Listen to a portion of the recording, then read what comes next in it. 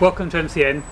Later this week I'm going to be riding from Land's End to John O'Groats for charity in aid of the NSPCC. Now as MCN's World Superbike reporter, amongst other things, I get to ride on some of the most exotic and best bikes out there. I'm a very lucky position. But this trip's going to be a bit different. I'm going with my dad and we're going to be on a 1960 Ariel Leader and a 1960 Ariel Arrow. Wish us luck.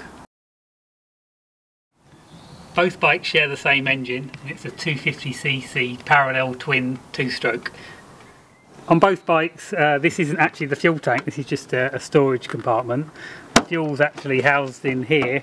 It's a, it's a monocoque chassis so I guess they say they kind of beat Ducati to it. Um, but all the fuel's kept in there, pre-mix the oil in there as well. The ride starts on Saturday the 14th of July.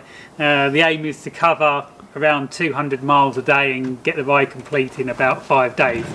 Like I said, it is for charity, it's for the NSPCC, so any donations are gratefully received and there's a link at the end of the video to our Just Giving site.